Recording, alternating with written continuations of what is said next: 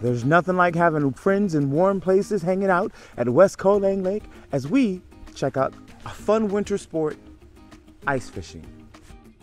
The day was a balmy 14 degrees, and the wind across the lake added to that Arctic chill.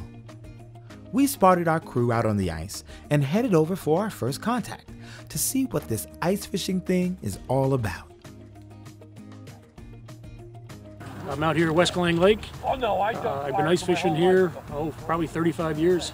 Uh, we try to get out at least every weekend. Um, each person's allowed to have five tip ups. Reason why we do it, just to, something else to do in the winter. Um, so that's the reason why. We're out here just have a good time, laugh, have a couple drinks, and if we catch fish, that's a bonus. Since we were new to this, we asked the team to show us how they set things up in hopes of catching what's beneath the ice. So this is a uh, just an Eskimo propane auger.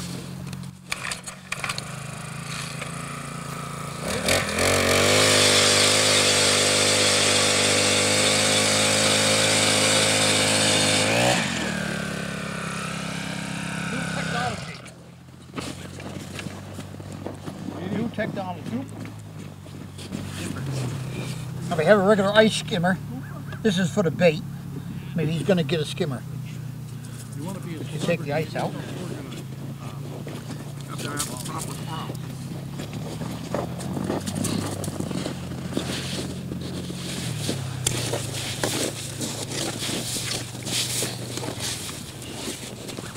We just call this a scoop. Uh, cleans your holes out. Also, uh, it'll measure the thickness of your ice. Currently, we have about nine and a half inch of ice right here. Plenty of ice. We try to go out on four yeah. inches, four plus inches. They, they used to have like a regular guide at one time. They always said like an inch and a half, two inches for a man, uh, three or four inches for like a snowmobile, and then it gets up to that seven to eight to ten inches for actually an automobile. Here we're using 20 pound test braided line with a uh, steel leader. This is a sounder, they call it a sounder. You put that on the line, you drop it down and hit the bottom.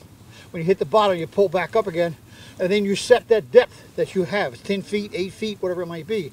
And then you hook your bait on you know, onto it, and you drop it down. Your button goes onto your reel, when that's your depth off. That's this way, every time you get a, a, fish or a bite, you know where to put it back with that little button. That's where you put it on the reel, so that's you know your depth in.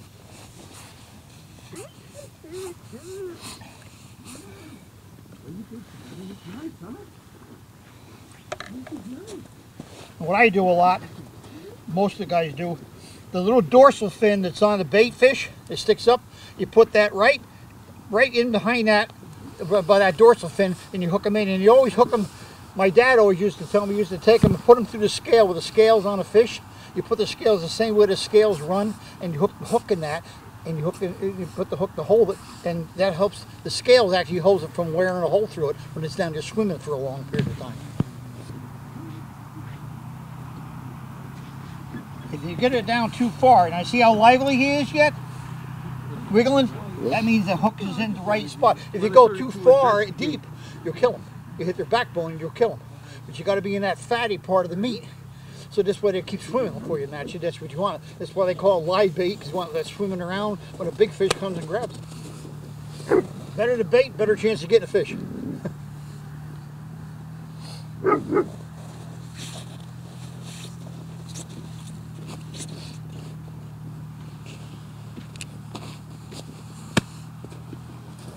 little bit of luck will get somebody to maybe grab that guy. That's all there is to? Yeah. Setting up a tip up. That's it then it's a waiting game. More or less. So, the bait is set and the tip ups are ready. Now, what do you do while you wait? Well, we come out here and we put a bunch of tip ups in the water, um, bait them up, wait for them to go up, stand around, we talk, we eat, we have fun, and well, you get a flag up and you know, you send the kids to go get it, you know. It, it, it's more about the kids, get the kids out, get them out of the house let them have fun, let them learn how to how things work, and you know they, they like to fish. As the kids check out a flag, we ask about the other fun things to do on the ice. I like coming out here. It's just fun to hang out, catch fish, and just have a good time. Riding snowmobiles all over. It's just a great time. In addition to riding the snowmobiles, there's loads of food for this winter picnic.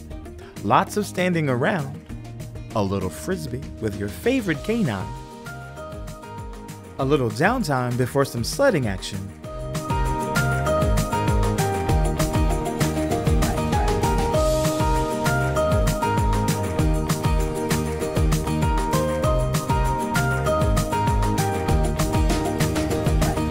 And of course, a few fishing fables about the one that got away. Oh, and did I mention more food? And needless to say, we had to ask about the many ways to keep warm while you're out on the ice. It's really warm. I got like four different types of pants on, and my insulated muck boots, and keeps me nice and warm. And if you get too cold, there's nothing like a quick lounge in the pop up tent to toast your toes. As we packed up to head home, a nor'easter rolled in, and the snowflakes came with it. We hope you enjoyed as we wrap up another epic adventure in the Pocono Mountains.